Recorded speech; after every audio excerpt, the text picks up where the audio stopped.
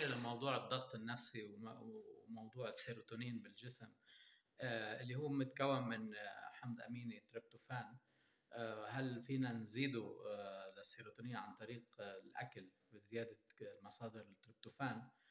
أول شيء التريبتوفان ك amino acid موجود بأغلب البروتينات اللي هي أساسا مثل الدواجن بيض سمك حتى الحليب والأجبان. آه وكمان من الأشياء اللي بتساعد على تكوين السيروتونين النشويات. النشويات مش بروتين بس آه يبدو إنه تكوين السيروتونين وامتصاص التريبتوفان وغيره محتاج لطاقة كالوري زيادة.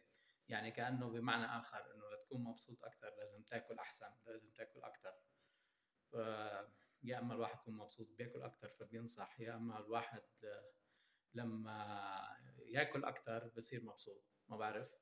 بس إذا إذا جبنا تريبتوفان أكثر هل أكيد إنه رح يزيد السيروتونين؟ وجوده يعني هو ما رح يكون في نقص بالتريبتوفان إذا في مصادر أكل متنوعة آه، إلا إذا كان في امتناع عن الأكل تماما اللي ممكن يسبب أحيانا الاكتئاب أو الضغط أو التوتر. بس آه، وجود الأكل نفسه بيضمن تكوين سيروتونين كافي. الجواب الأساسي هو لا لأنه آه، كمية السيروتونين اللي بيكونها الجهاز العصبي معتمدة على نشاط الجهاز العصبي والوظيفة تبعه والتنبيهات تبعه فاللي هي بشكل أساسي معتمدة على المزاج العام اللي ممكن تأثر بالمحيط والعوامل النفسية بشكل أساسي.